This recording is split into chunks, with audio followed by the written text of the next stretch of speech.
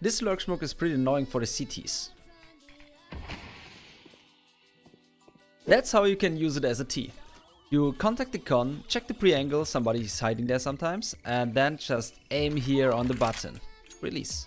The smoke will give you cover from A sides you are able to fight short isolated. In addition, you are able to abuse the tremendous smoke cloud to find a hole in the CT defense. With the right timing you can open up the round by catching the CTs off guard. Here for example for stairs you can aim easily onto jungle, ticket, clearing the A side.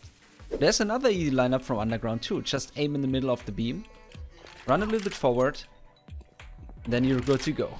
Bookmark this easy smokes for your easy mirage entries.